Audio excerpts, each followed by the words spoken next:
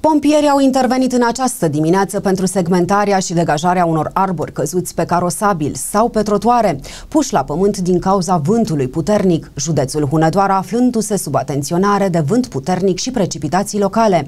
Probleme au fost în Petroșani, dar și în Deva, unde un arbore a căzut peste două autoturisme parcate. De asemenea, în Valea Jiului a nins, la fel ca și în Straja și Parâng.